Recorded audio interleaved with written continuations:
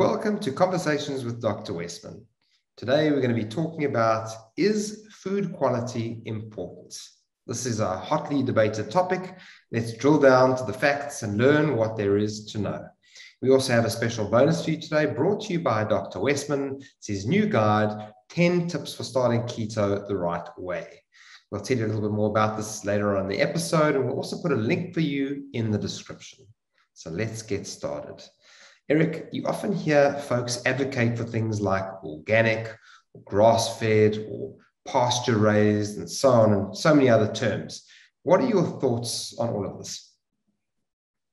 Well, I think um, there's a phenomenon that's happened that um, gets mixed up with uh, idea of having humane sorts of ways to raise animals and, and even uh, ways to help with climate change. And it, it gets mixed up with a, a better health sort of messaging. So, so, you know, I learned about low carb diets in the year about 2000, uh, 1998 more specifically. And I started using a version of a low carb diet that really didn't pay too much attention to food quality. I mean, there was no real grass-fed beef. There wasn't much organic available, and and and, and the diet I started using worked just fine. In fact, I uh, use low-carb diets now in clinical practice and in research for over 20 years here in Durham, North Carolina. And I've learned from people that there are many different ways to do it. You can eat clean eating with organic and free range and and uh, grass-fed beef and go to the farmers market and and that's fantastic.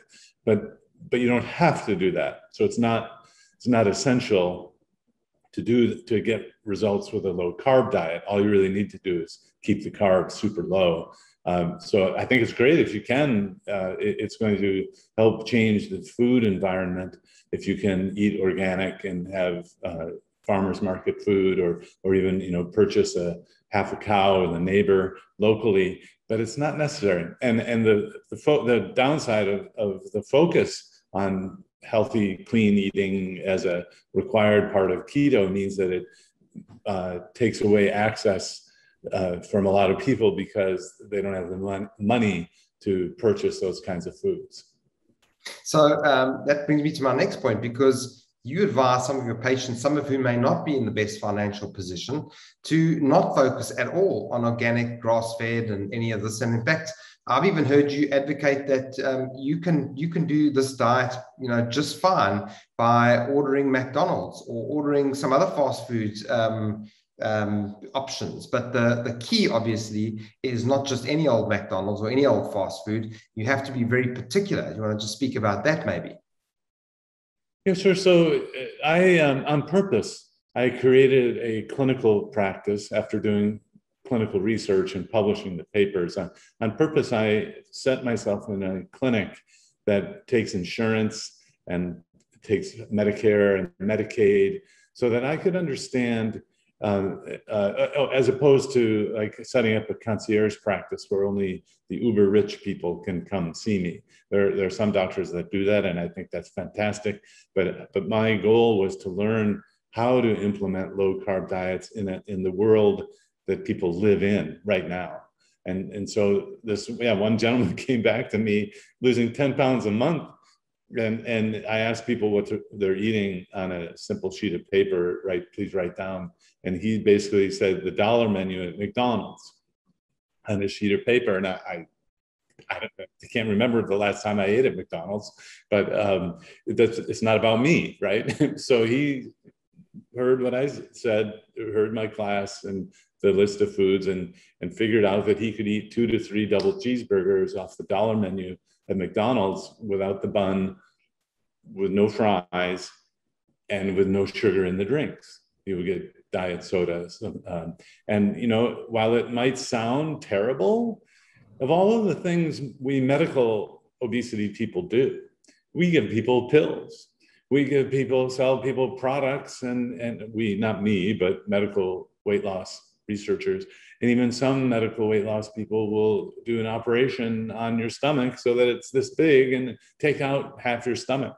So, as far as all the different ways of going about things, having the the low carb food at a fast food restaurant is a relatively healthy way to go about things, so that there's not going to be any large problem with doing it. And actually, the fast food and, and restaurant industries can be part of the solution if they understood that all you had to do is cut carbs out. And in our area, that you can get lettuce wraps, or you can just tell people, "Don't give me the bun." Although they don't always do that.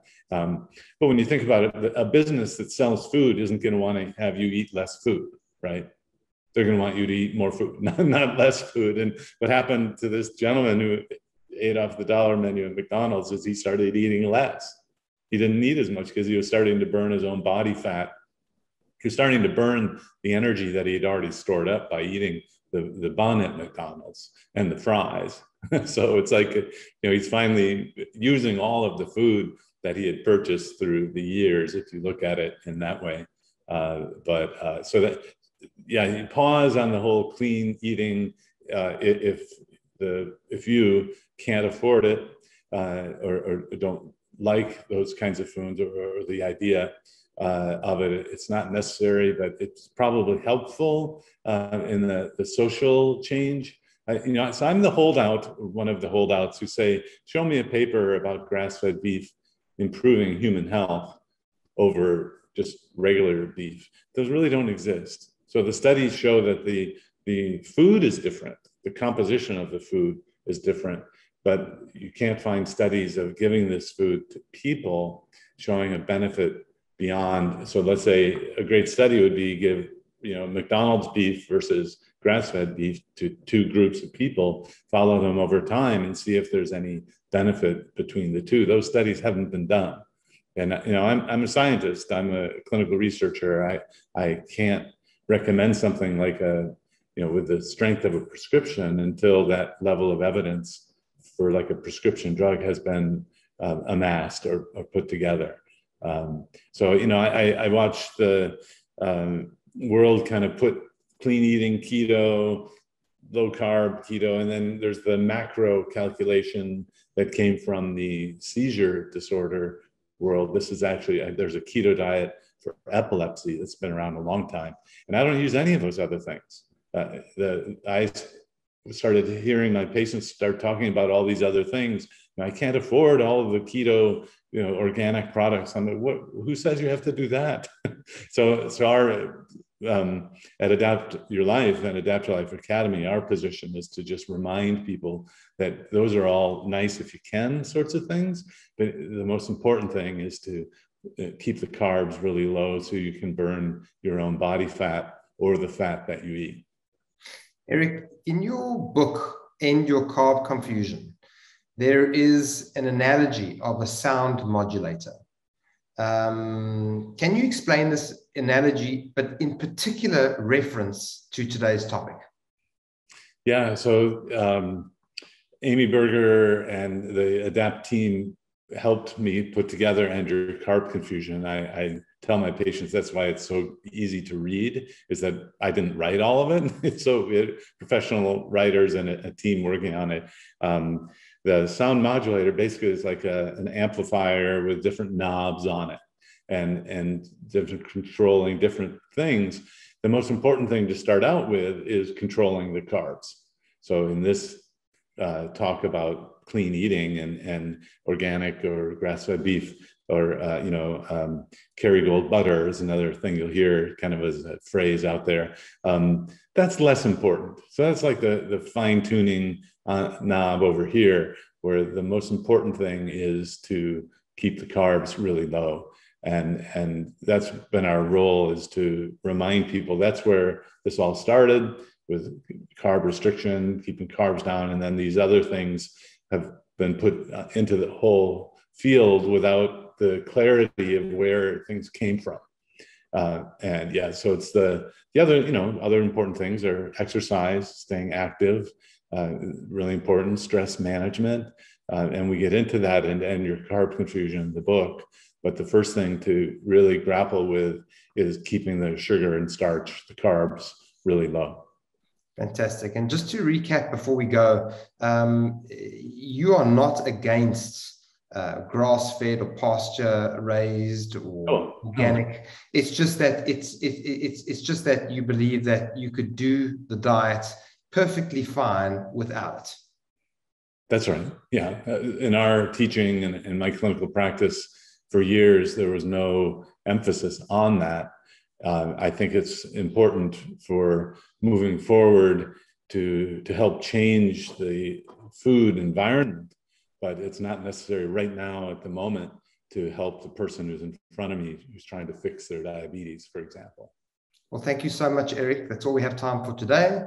Um, next week, we've got another exciting episode for you. But before you leave, just a reminder that we have the special bonus for you today, which is the 10 tips for starting keto the right way, brought to you by Dr. Westman. You do not want to miss out on this guide. If you'd like to learn more about our live events, we've got some new events coming up in February. Uh, I believe it's uh, Raleigh, Atlanta, and West Virginia. We'd love to see you guys there. We'll obviously be talking a little bit more about this closer to the time.